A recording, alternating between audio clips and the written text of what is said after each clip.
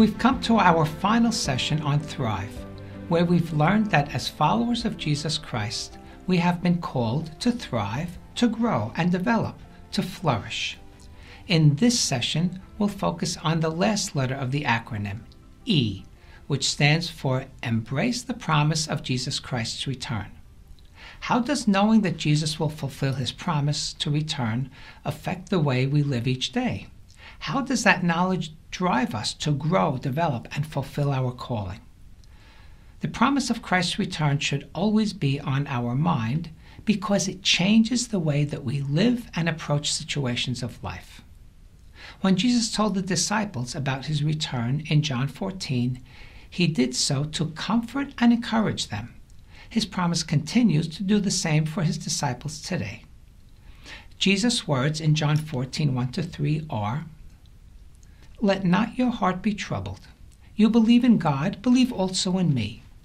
In my Father's house are many mansions. If it were not so, I would have told you.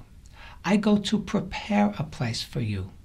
And if I go and prepare a place for you, I will come again and receive you to myself, that where I am, there you may be also.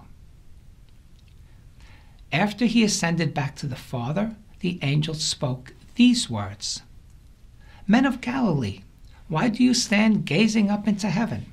The same Jesus who was taken up from you into heaven will so come in like manner as you saw him go into heaven. It is as certain as the sun rises each morning that Jesus will return. This knowledge should comfort us during life's most difficult moments and enhance our joy during our greatest days, because we know that a greater celebration awaits us when we will see our Savior face to face. How do we embrace the promise of Jesus Christ's return? First, we embrace the promise of his return by preparing ourselves for it already now by applying the gospel to every part of our life. That means that in all the places of our life, we strive to glorify God.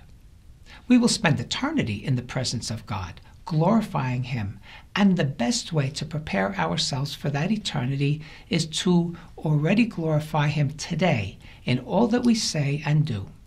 We can glorify Him by loving others, friends, and enemies and in doing so, share the love of the Lord.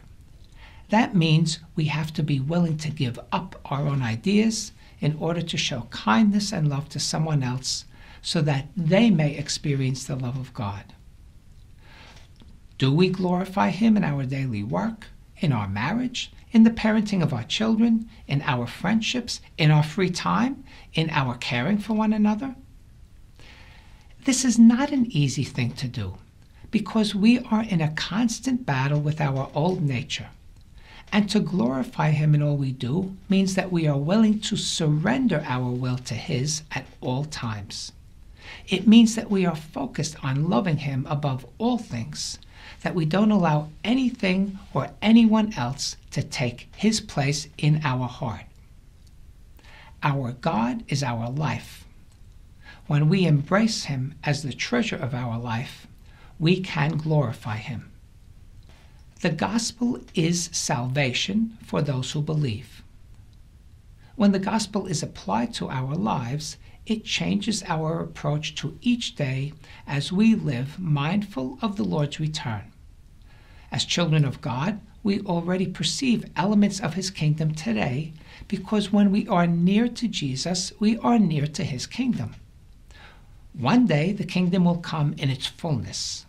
Until that time, we are to be a prefiguration of the kingdom, opening the eyes of others to the glory of God. This leads us to our second way of embracing the promise of Christ's return, which is to be eternity minded, future oriented, and focused on his promise. Apostle Paul focused on what was to be in the future as he went forward with his mission to share the gospel with the Gentiles. In Philippians 3 8 to 14, he writes, Yet indeed, I also count all things loss for the excellence of the knowledge of Christ Jesus my Lord, for whom I have suffered the loss of all things, and count them as rubbish, that I may gain Christ and be found in him, not having my own righteousness, which is from the law, but that which is through faith in Christ, the righteousness which is from God by faith. Pausing here for a moment, I'd like to underline what Paul is saying about faith. Recognizing that his own righteousness cannot earn him salvation, he surrenders himself to the faith in Jesus Christ that he has been given so that the righteousness of Christ would become his. Only after the righteousness of Christ has been shared with us through faith can the way to his eternal kingdom be opened to us. Paul then continues that I may know him and the power of his resurrection and the fellowship of his sufferings, being conformed to his death, if by any means I may attain to the resurrection from the dead. Not that I have already attained or am already perfected, but I press on that I may lay hold of that for which Christ Jesus has also laid hold on me. Brethren, I do not count myself to have apprehended, but one thing I do, forgetting those things which are behind and reaching forward to those things which are ahead. I press toward the goal for the prize of the upward call of God in Christ Jesus. How did Paul go about focusing on the future? he pressed forward with a desire to know Jesus and the power of his resurrection, to share in his sufferings, and to, be, to become like him, hoping to attain a, a resurrection like his. He did that by forgetting the things that weren't going to be helpful in this pursuit and sought after knowledge of God. He was constantly moving forward, pressing on toward the goal the prize of the upward call of God. Paul was aware that he was moving toward a finish line, and just like a runner in a race, he leaned forward with an earnest desire to take hold of the prize. He, like us, didn't hap- happen upon this way. We are called to it.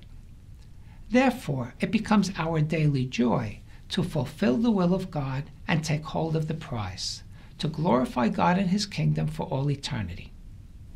We thrive when we press forward and keep our eyes on the goal that is before us.